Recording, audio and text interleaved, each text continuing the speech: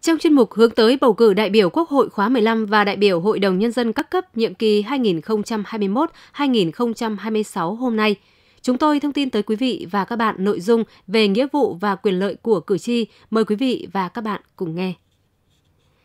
Nhà nước Cộng hòa xã hội chủ nghĩa Việt Nam là nhà nước pháp quyền xã hội chủ nghĩa của nhân dân, do nhân dân, vì nhân dân. Tại Điều 6 Hiến pháp nước Cộng hòa xã hội chủ nghĩa Việt Nam – nhân dân thực hiện quyền lực nhà nước bằng dân chủ trực tiếp, bằng dân chủ đại diện thông qua Quốc hội, Hội đồng Nhân dân và thông qua các cơ quan khác của nhà nước. Vì thế, thông qua bầu cử nhân dân trực tiếp, bỏ phiếu tín nhiệm bầu cử người đại diện cho ý chí, nguyện vọng và quyền làm chủ của mình, bầu ra những đại biểu xứng đáng vào Quốc hội và Hội đồng Nhân dân các cấp. Do đó, bầu cử vừa là quyền, vừa là nghĩa vụ của nhân dân. Về quyền của cử tri khi bầu cử, pháp luật quy định trong thời gian lập danh sách cử tri, mọi công dân có quyền bầu cử đại biểu Quốc hội và đại biểu Hội đồng Nhân dân đều được ghi tên vào danh sách cử tri và được phát thẻ cử tri. Mỗi công dân chỉ có quyền ghi tên vào một danh sách cử tri ở nơi mình thường trú hoặc tạm trú. Cử tri là người tạm trú và có thời gian đăng ký tạm trú tại địa phương chưa đủ 12 tháng. Cử tri là quân nhân ở các đơn vị vũ trang nhân dân được ghi tên vào danh sách cử tri để bầu đại biểu Quốc hội và đại biểu Hội đồng Nhân dân ở nơi tạm trú hoặc nơi đóng quân. Công dân Việt Nam ở nước ngoài trở về Việt Nam trong khoảng thời gian từ sau khi danh sách cử tri đã được niêm yết đến trước thời điểm bắt đầu bỏ phiếu 24 giờ thì đến Ủy ban nhân dân cấp xã, nơi đăng ký tạm trú xuất trình hộ chiếu có ghi quốc tịch Việt Nam để được ghi tên vào danh sách cử tri và nhận thẻ cử tri bầu cử đại biểu Quốc hội và đại biểu Hội đồng Nhân dân cấp tỉnh, cấp huyện. Việc lập danh sách cử tri phải được niêm yết công khai tại trụ sở xã, phường, thị trấn và điểm bỏ phiếu, đồng thời thông báo rộng rãi việc niêm yết để nhân dân kiểm tra danh sách cử tri. Trong thời gian từ sau khi danh sách cử tri đã được niêm yết đến trước thời điểm bắt đầu bỏ phiếu 24 giờ, những người chuyển đến tạm trú ở nơi khác với đơn vị hành chính cấp xã mà mình đã được ghi tên vào danh sách cử tri và có nguyện vọng tham gia bầu cử ở nơi tạm trú mới thì được xóa tên trong danh sách cử tri ở nơi cư trú cũ và bổ sung vào danh sách cử tri tại nơi tạm trú mới để bầu đại biểu Quốc hội, đại biểu Hội đồng Nhân dân cấp tỉnh, cấp huyện. Trường hợp xảy ra sai sót trong danh sách cử tri thì trong thời hạn 30 ngày, công dân có quyền khiếu nại với cơ quan lập danh sách cử tri. Trong thời hạn 5 ngày kể từ ngày nhận được khiếu nại, cơ quan lập danh sách cử tri phải giải quyết và thông báo cho người khiếu nại biết kết quả giải quyết. Trường hợp không đồng ý về kết quả giải quyết khiếu nại hoặc hết thời hạn giải quyết mà khiếu nại không được giải quyết thì công dân có quyền khiếu nại lên tòa án nhân dân theo quy định của pháp luật về tố tụng hành chính. Công dân còn có quyền tố cáo về người ứng cử khiếu nại tố cáo kiến nghị về những sai sót trong việc lập danh sách người ứng cử với các tổ chức bầu cử. Đối với khiếu nại tố cáo kiến nghị liên quan đến người ứng cử đại biểu Quốc hội, việc lập danh sách những người ứng cử đại biểu Quốc hội được gửi đến Ban bầu cử đại biểu Quốc hội, Ủy ban bầu cử ở tỉnh, Hội đồng bầu cử quốc gia. Khi ban bầu cử, Ủy ban bầu cử đã giải quyết mà cử tri không thỏa mãn thì có quyền khiếu nại lên Hội đồng bầu cử quốc gia. Quyết định của Hội đồng bầu cử quốc gia là cơ quan quyết định cuối cùng – đối với việc khiếu nại tố cáo kiến nghị của công dân về người ứng cử, việc lập danh sách người ứng cử đại biểu Hội đồng Nhân dân ở cấp nào thì được gửi tới Ban bầu cử đại biểu Hội đồng Nhân dân ở cấp đó. Trường hợp người khiếu nại tố cáo kiến nghị không đồng ý với kết quả giải quyết của ban bầu cử thì có quyền khiếu nại tố cáo, kiến nghị không đồng ý với kết quả giải quyết của ban bầu cử thì có quyền khiếu nại lên Ủy ban bầu cử ở cấp tương ứng. Quyết định của Ủy ban bầu cử là quyết định cuối cùng. Quyền của cử tri theo quy định của pháp luật về bầu cử cũng quy định rõ trong việc bỏ phiếu bầu cử. Mỗi cử tri có quyền bỏ một phiếu bầu đại biểu Quốc hội và bỏ một phiếu bầu đại biểu Hội đồng Nhân dân tương ứng với mỗi cấp. Hội đồng Nhân dân, cử tri phải tự mình đi bầu cử, không được nhờ người khác bầu cử thay. Trừ trường hợp cử tri vì khuyết tật không thể tự bỏ phiếu được thì nhờ người khác bỏ phiếu vào hòm phiếu. Trong trường hợp cử tri ốm đau, già yếu, khuyết tật không thể đến phòng bỏ phiếu được thì tổ bầu cử mang hòm phiếu phụ và phiếu bầu đến chỗ ở, chỗ điều trị của cử tri để cử tri nhận phiếu bầu và thực hiện việc bầu cử.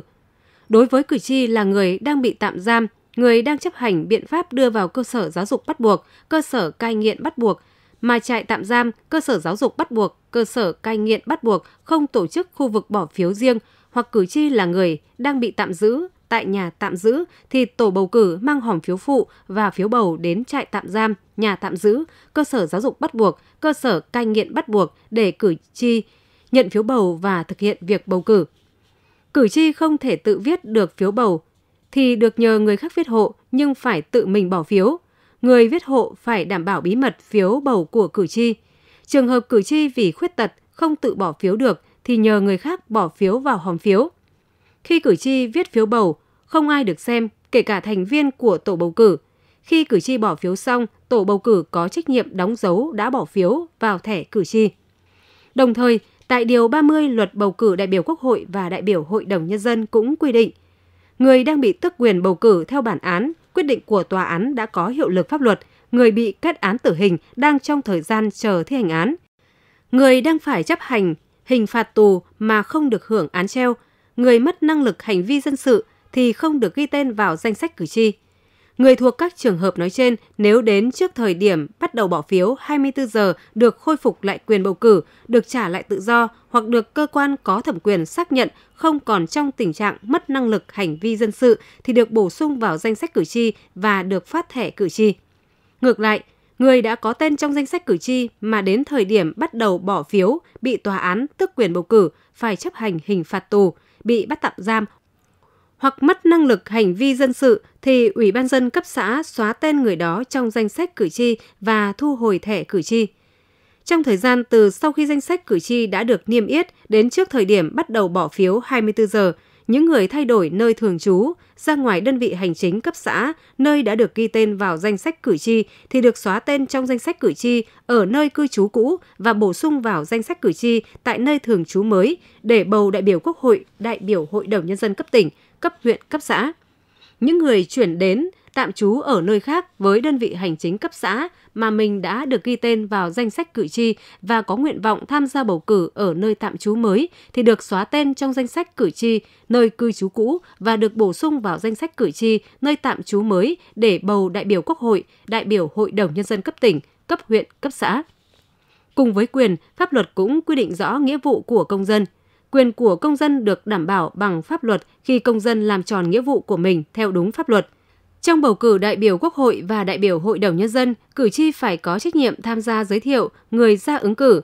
Cử tri nơi người ứng cử công tác và cư trú có trách nhiệm tham gia ý kiến nhận xét. Nghĩa vụ của cử tri được thể hiện rõ qua ba lần tổ chức hội nghị hiệp thương, qua các lần tổ chức hội nghị cử tri nơi công tác và nơi cư trú của người ứng cử – qua các cuộc tiếp xúc, tuyên truyền, vận động bầu cử của người ứng cử.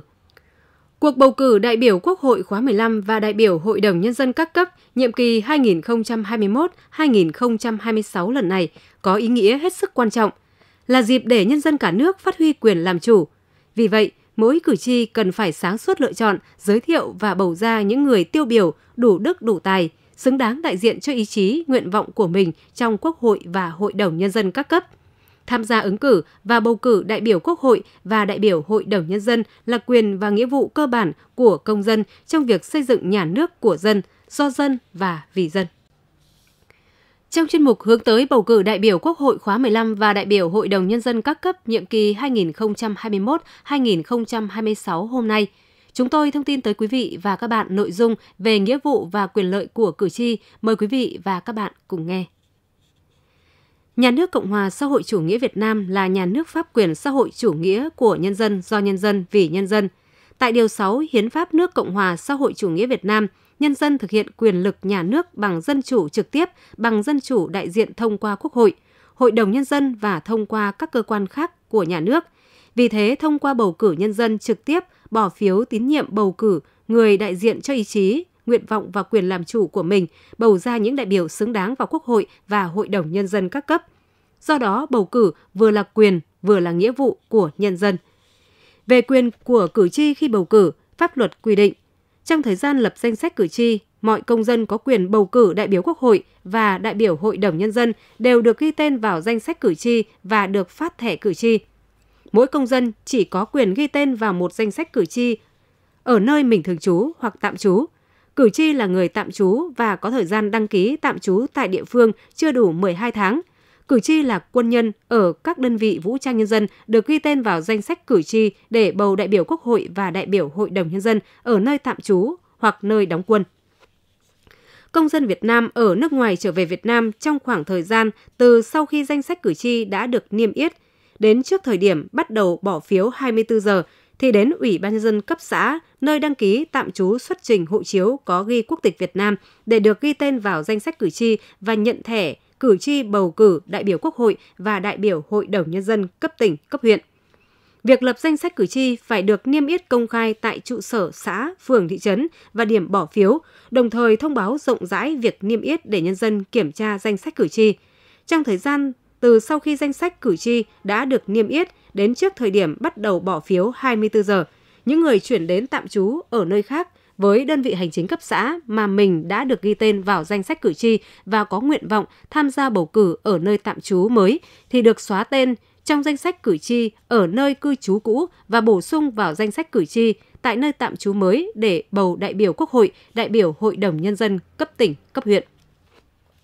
Trường hợp xảy ra sai sót trong danh sách cử tri thì trong thời hạn 30 ngày, công dân có quyền khiếu nại với cơ quan lập danh sách cử tri. Trong thời hạn 5 ngày, kể từ ngày nhận được khiếu nại, cơ quan lập danh sách cử tri phải giải quyết và thông báo cho người khiếu nại biết kết quả giải quyết.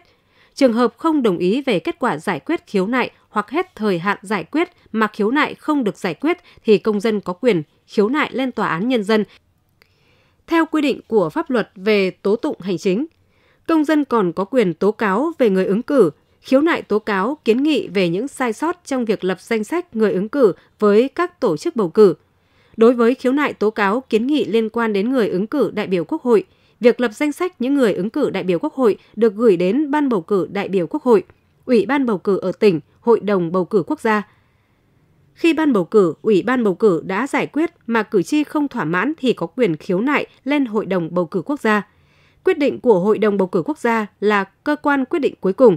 Đối với việc khiếu nại tố cáo kiến nghị của công dân về người ứng cử, việc lập danh sách người ứng cử đại biểu Hội đồng Nhân dân ở cấp nào thì được gửi tới Ban bầu cử đại biểu Hội đồng Nhân dân ở cấp đó.